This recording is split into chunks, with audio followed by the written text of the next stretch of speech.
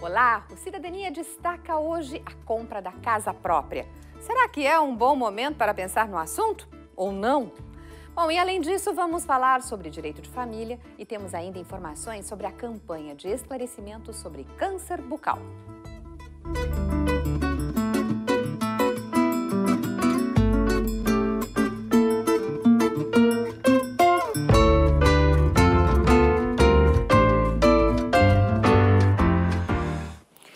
rol das medidas de ajuste da economia, o governo federal anunciou mudanças nas regras para o financiamento da casa própria. Teve gente que se assustou. A partir de agora, vamos esclarecer as principais dúvidas que você tem, você telespectador. Recebemos aqui no programa hoje Luiz Ricardo Azeredo Sá, advogado especialista em direitos imobiliários, e Augusto Pinho de Bem, economista da FEE. Como vão? Prazer em recebê-los aqui no programa. Prazer é nosso, Maria Helena. Uh, doutor Luiz Ricardo, as principais mudanças para a aquisição da, da casa própria, que, que, que, impacto, que mudanças são essas e quais os impactos que o senhor acha, assim, na sua, na sua visão, na sua opinião, quais os principais impactos que, podem, que eles causaram? Sim, Maria Helena, basicamente o que modificou na, nos financiamentos habitacionais foi no âmbito da Caixa Econômica Federal, que é o maior agente financeiro é, do sistema financeiro da habitação, e basicamente os financiamentos é, é, com o recurso das cadernetas de poupança. A mudança mais radical que teve nesse tipo de financiamento é que a Caixa, que até então financiava em torno de 80% ou 70% do, do valor do imóvel, reduziu para 50% e 40% o teto de financiamento. Então, com isso, o que, que acontece? Com isso, fica mais difícil comprar imóvel usado uhum. é, com financiamento da Caixa Federal e fica mais caro comprar imóvel usado com financiamento dos bancos privados, porque sem a concorrência da Caixa, as taxas de juros, de juros. dos bancos privados subiram. Eles o que, ainda... que é a média de taxa de juros hoje? É, hoje está por volta de 12% mais TR. Então, a Caixa financiava, em média, com taxas que variavam aí, dependendo do valor do imóvel, dependendo do prazo de financiamento, entre 6% e 8%, 9%, dependendo se o mutuário tinha ou pretendia ter relacionamento com a Caixa.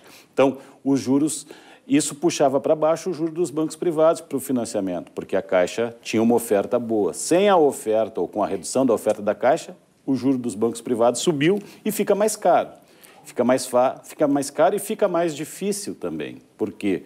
Porque os bancos privados são mais criteriosos na concessão dos financiamentos. Então, a Caixa tinha toda uma, uma maleabilidade na composição de renda e tudo mais que não tem nos bancos privados. Então, isso dificulta basicamente os financiamentos destinados à classe média, à classe média. Por quê? Porque os financiamentos com recurso da poupança abaixo de 190 mil reais, por exemplo, é esses não estão não tão, não tão afetados por essa medida. Os financiamentos com recurso do FGTS também não estão afetados por essa medida. É, já vamos continuar. Já vamos continuar. Deixa eu só Sim. pular um pouquinho para trás, só para ver com o Augusto aqui as, as repercussões disso na, na, na, área econômica. O que, que isso implica na economia? Bem, essa é mais uma, uma medida que vem no mesmo sentido das diversas outras políticas que vêm sendo tomadas né, pelo governo federal de ser um ano de ajuste. Né?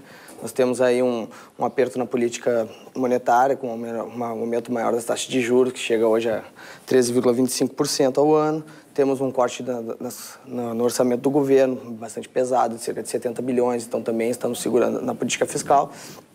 E o governo claramente mostra que esse ano a prioridade vai ser um melhor resultado fiscal, né, uma melhora nas contas públicas e também uh, já preparando o cenário para uma queda mais acentuada da taxa de inflação dos anos para os anos para os próximos anos, já que nesse ano, como houve também a liberação de diversos preços administrados, o índice provavelmente vai ficar acima do teto.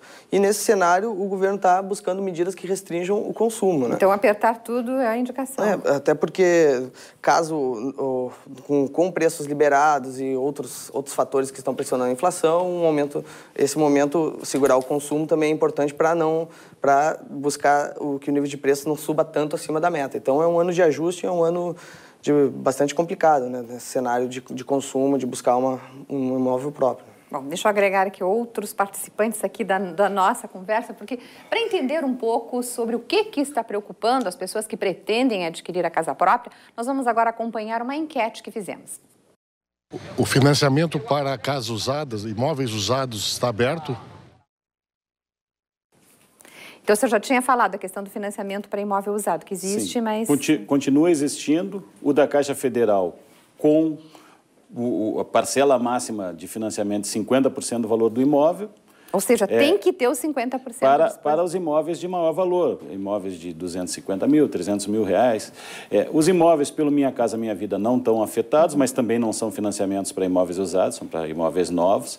E os financiamentos com recursos do FGTS, estes também não estão afetados. Então, no ainda, caso, dos, esses 50% pode... compõem com o FGTS, pode compor? É, sim, sim desde que se respeite uma série de regras básicas para a utilização do FGTS. Não é qualquer imóvel que eu posso comprar, não é em qualquer circunstância. Eu tenho que ser, tenho que ser trabalhador vinculado ao FGTS com pelo menos três anos intercalados ou consecutivos de vínculo com o FGTS. Eu tenho que ter na conta vinculada do FGTS um saldo não inferior a 10% do valor do imóvel que eu estou comprando.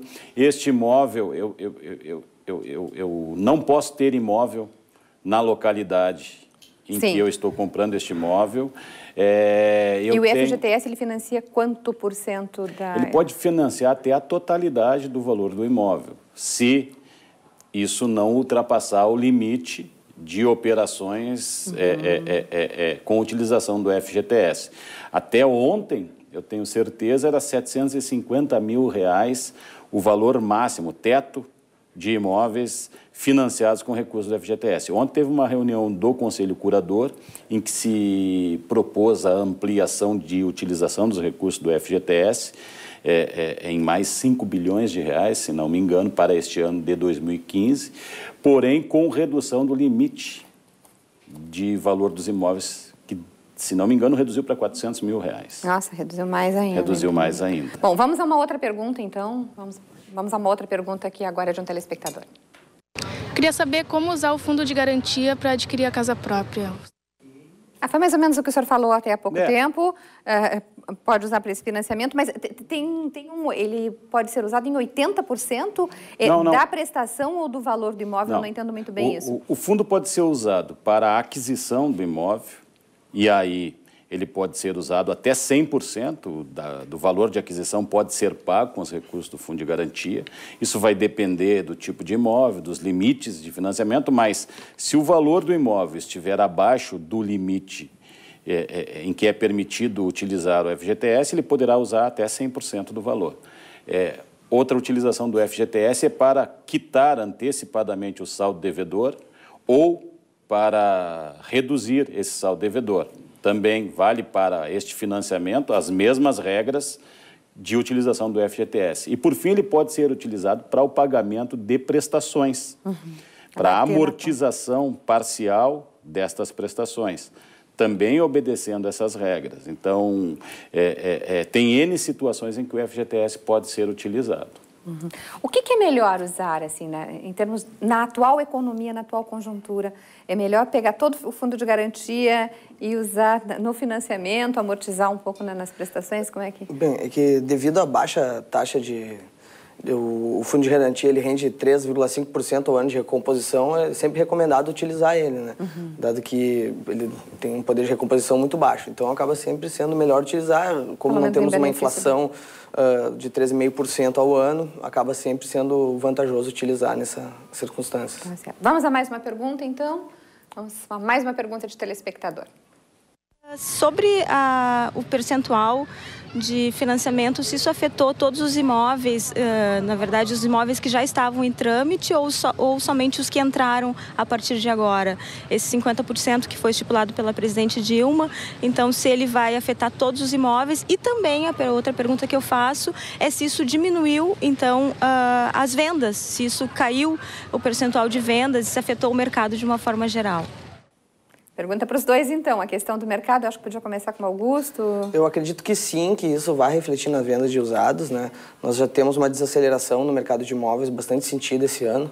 E essa maior necessidade de entrada, acredito que venha a dar uma esfriada né, nesse mercado de usados e talvez até não digo se baixar o valor dos imóveis, mas ter uma subida bem mais moderada né, do que havia se verificado durante os últimos anos. Na FEA vocês têm uh, muito a pesquisa de emprego e desemprego, afetou muito a questão da, de empregos nesse, nesse setor? Eu não sei se, se é Eu não sei te dizer área, o, o, dado desagregado, mas a, a, taxa de desemprego vem subindo esse ano, alcançou, se não me engano, o dado que saiu ontem foi de 7,1%, isso também deve ser mais um, um fator a influenciar negativamente o mercado imobiliário, né? dado que há uma, uma crescente na taxa de desemprego e ainda não se acredita que se chegou ao limite de alta, ela ainda deve aumentar mais durante os próximos meses. Doutor Ricardo, essa telespectadora, uma pergunta interessante. Quem está já com, com um contrato, com um processo é, de financiamento em andamento, o que, que, o que, que ocorre? É, essa, essa tem é uma, algum problema? Essa é uma pergunta bastante interessante. Por quê? Porque tem situações que são bem distintas. O sujeito comprou um imóvel na planta lá, de uma construtora X.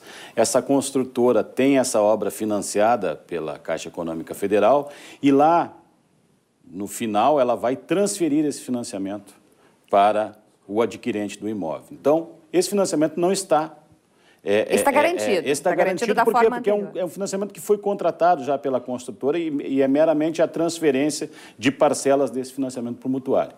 Outras situações são, o sujeito comprou o imóvel e ele lá na data X, quando tiver o habite normalmente, ele vai ter que contrair financiamento para pagar.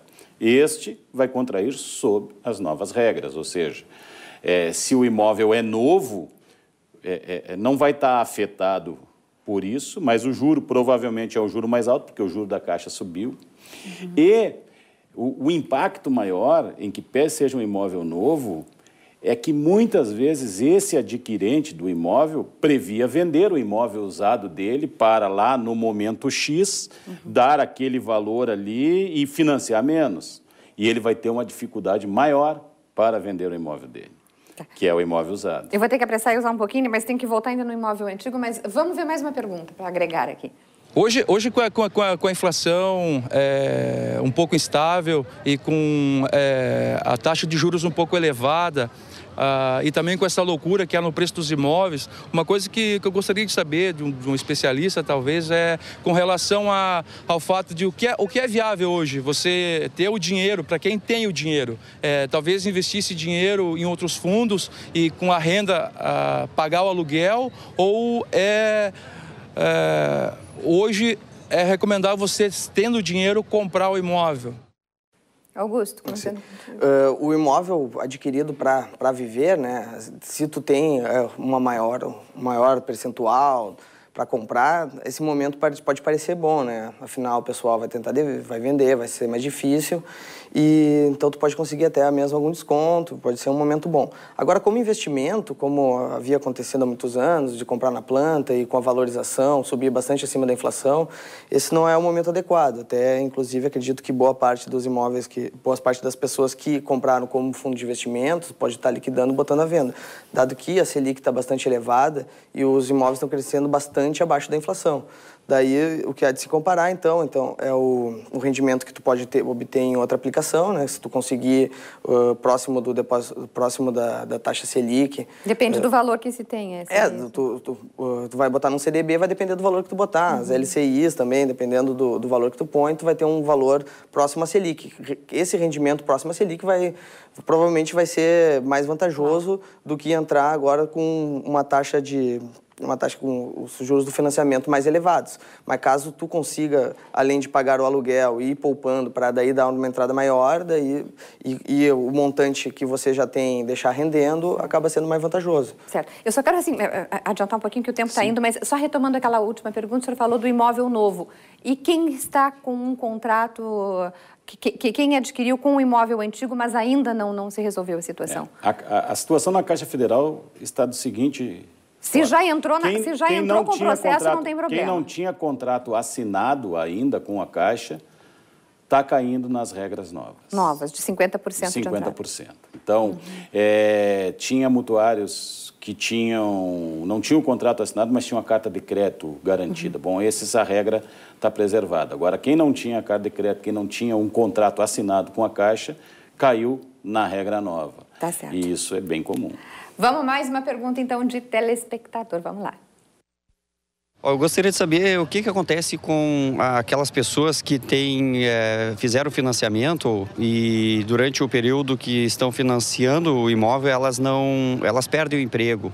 O que, que acontece? Elas, elas também têm um prazo de carência ou elas é, perdem uma parte do, do dinheiro pago? Como é que a, a, acontece essa questão assim na perspectiva legal? Aí então, doutor Ricardo. É, tem que distinguir, tem duas situações. Uma coisa é o financiamento habitacional concedido lá por um banco, pelo agente financeiro. Esse financiamento ele não tem nada a ver com. com ele com não é uma operação de compra de e venda do imóvel, ele é uma operação de, de crédito garantida para custear a compra e venda e garantida pelo imóvel. Então, é, nessa circunstância, nesse tipo de contrato, o que for pelo Minha Casa Minha Vida tem um seguro que cobre e que, e que garante lá a inadimplência se o, se o, se o mutuário estiver desempregado.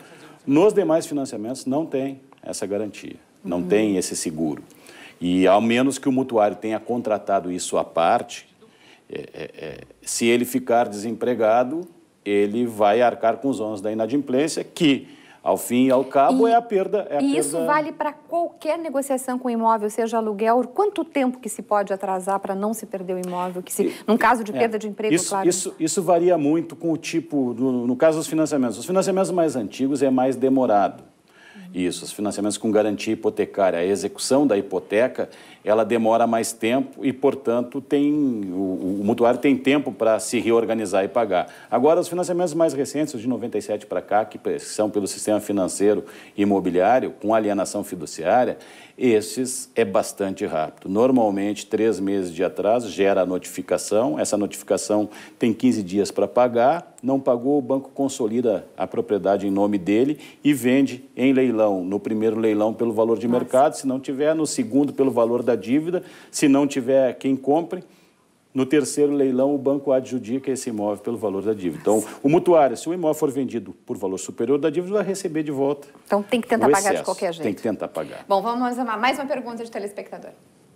A partir do momento que eu começo a trabalhar, qual o tempo assim que eu devo me preparar para juntar e poder fazer um financiamento? Começar com o Augusto, então acho que é financiamento e o investimento também, né? Pois é, o que se recomenda, principalmente nesse momento né, de maior restrição de taxa de juros mais altas, é que tu junte o maior percentual possível. Né? Hoje em dia a Caixa, como o Luiz Ricardo nos falou muito bem, né, ele aumentou uma série de restrições para aqueles tipo de empréstimo que se utiliza do sistema financeiro o SFH e o SFI, então, nesse momento, a pessoa tem que se programar para juntar o máximo possível e talvez até postergar mesmo esse para momentos uhum. econômicos mais claro. de menos incertezas, né, do que para uso do fundo de garantia tem que esperar um pouco, né? Para uso do fundo de garantia tem que ter pelo menos três anos de vínculo e esses três anos podem ser consecutivos ou intercalados, mas somados eu tenho que ter três anos de vínculo do FGTS e tenho que ter lá na minha conta vinculada do FGTS um saldo de pelo menos 10% do valor do financiamento que eu quero ter. Uhum. Então, senão eu não consigo obter o financiamento. Tem que esperar. Como disse o Augusto, o ideal é poupar. Temos que poupar. É. Só para finalizar uma frase assim com relação a isso, que o senhor acha uma coisa que, que as pessoas devem, devem se ater com força. Muito cuidado para quem for comprar ou vender imóveis usados. Por quê? Porque o risco dessa transação não se concretizar é enorme e, portanto, os reflexos econômicos são bastante claro. perigosos. O recado que eu dou é que é um ano de bastante cautela, né? um ano de bastante certeza no cenário econômico. Para aqueles indivíduos que têm um bom montante, pode ser uma boa oportunidade né, de comprar um imóvel e conseguir algum desconto. Agora, para aquela pessoa que vai se endividar para comprar talvez até a primeira casa e não entre nesses programas como Minha Casa Minha Vida, é um momento de bastante cautela e de ver bem se está na melhor hora de entrar em uma dívida tão grande. Tá certo. Muito obrigada pela presença de vocês aqui. Até uma próxima. E o Cidadania faz um breve intervalo e já voltamos.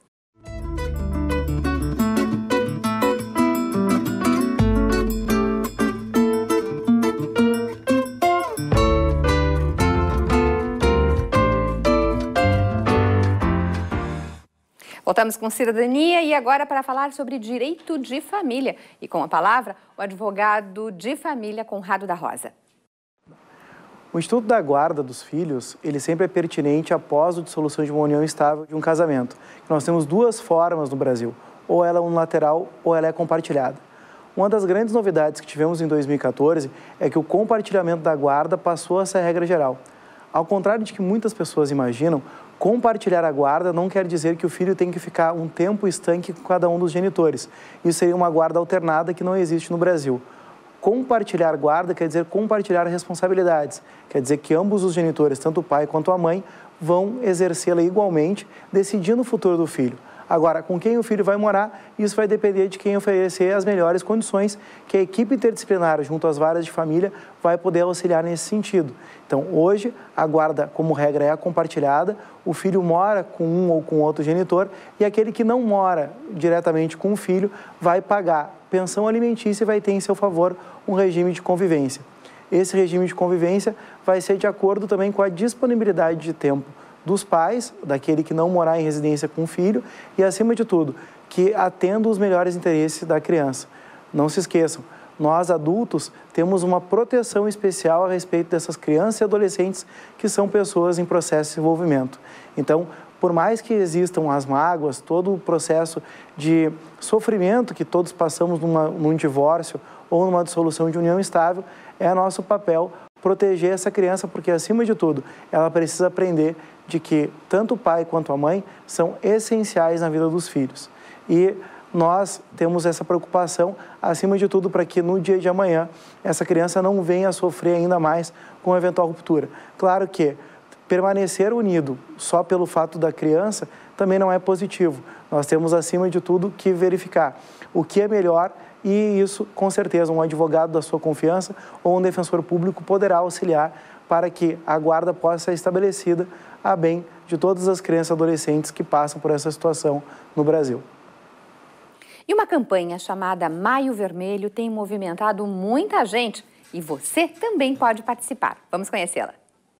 Segundo dados do Instituto Nacional do Câncer, 14 mil novos casos de câncer bucal são registrados todos os anos no Brasil. E hoje eu recebo aqui no estúdio a cirurgia dentista Tatiana Beltrame, que também é assessora do Conselho Regional de Odontologia aqui do Rio Grande do Sul. Bem-vinda, Tatiana. Obrigada. É possível traçarmos um perfil da população que sofre, que é mais acometida com o câncer bucal? Sim. Uh, essa população geralmente são homens com mais de 40 anos, geralmente de pele clara, olhos claros. Um dado muito importante pela Organização Mundial da Saúde é que 90% do câncer de boca está ligado com o fumo. E quando associado ao álcool, esse número aumenta, essa porcentagem aumenta. Geralmente aqui no Rio Grande do Sul, são homens uh, da etnia, são os, os italianos, os, os, alemães que vivem ainda no interior, na colônia, que trabalham debaixo da exposição solar. Esses são os que mais apresentam hoje ainda aqui no Brasil e no Rio Grande do Sul a maior incidência de câncer de boca. E como é que surge esse câncer? Quais são os primeiros sintomas como a pessoa observa? É, como todo câncer, a gente tem que ver a prevenção. Geralmente na boca, os dentistas é que fazem essa prevenção. Claro que seria interessante que o paciente se olhasse, se fizesse o autodiagnóstico. Só que como pode uh, combinar com outros tipos de doença que não são câncer, fica meio difícil para esse, esse cidadão saber exatamente se é ou não. Por isso que ele precisa do dentista para dar esse diagnóstico. Consultas regularmente, qual é a recomendação? É, consultas regularmente e também questionar o dentista. Às vezes tem lesões na boca que não cicatrizam, que demoram para cicatrizar. Tem feridas no lábio, principalmente o lábio inferior. O lábio inferior está em torno de 26% não, 24% do câncer de boca. Ele só perde para o câncer de língua, que geralmente acontece por próteses mal adaptadas. Porque na odontologia existem, entre outros tipos de prótese, as removíveis e as fixas. Quando as próteses são as removíveis e essas não estão bem adaptadas, geralmente essas as inferiores começam a machucar o assoalho da língua e a língua. E aí aparecem os cânceres de boca nessa população. Claro que dá mais em homens. Uh, esse ano, a ideia é de 40 mil novos casos aqui para o Brasil, sendo que 1.030 para o Rio Grande do Sul e 150 novos casos só em Porto Alegre. Geralmente são esses cânceres de lábio inferior por causa da exposição pulpar, ah, desculpa, exposição labial, e o câncer da língua por causa de próteses mal adaptadas. E como é que acontece o tratamento no momento que se identifica? Quais são as próximas etapas? É, infelizmente hoje aqui no Brasil a gente uh, tem essa, essa consulta já no estágio tardio do câncer de boca, em torno de 85%. Ao contrário dos Estados Unidos, que esse diagnóstico é feito precocemente, em torno de 90% em casos iniciais. Uh, geralmente é cirúrgico, cirurgia, a remoção e a, a mutilação do rosto dessa pessoa. E agora, neste mês de maio, vocês estão com a campanha Maio Vermelho de prevenção ao câncer bucal. Explica um pouco sobre a programação e o objetivo dessa campanha. Tá. Uh, maio também é uh, o mês contra o tabagismo. Então, como eu falei anteriormente, 90% de fumantes, uh, 90% de pessoas que têm câncer de boca está associado ao fumo. Então, o Conselho Regional de Odontologia do Rio Grande do Sul, junto com a entidade das classes de odontologia, apoio da Assembleia e apoio agora das secretarias de saúde, então, já há 10 anos que tem esse, esse, esse programa. Então, agora, nesse dia 28, vai ter no, no Largo Gleno Pérez, das 9 às 17 horas, colegas fazendo essa campanha. Então, quem quiser aparecer, para mostrar se tem alguma dúvida, principalmente essas pessoas desse grupo de risco, não será cobrar nada, é gratuito. E se a gente tiver suspeita que tem algum início de alguma lesão de câncer bucal, também sem nenhum valor, vai ser encaminhado aos hospitais de Porto Alegre para ser feitas biópsias e os exames necessários para confirmar se tem ou não essa lesão de câncer de boca. Tá certo, Tatiana tá. Beltrame. Muito obrigada pela sua participação obrigada. aqui no programa. Bom, e nós agora vamos encerrando o programa de hoje e vamos encerrar com imagens da Feira Ecológica que acontece todos os sábados na Redenção aqui em Porto Alegre e que é assunto de um tema que nós vamos tratar amanhã aqui no Cidadania. E é, vamos até lá!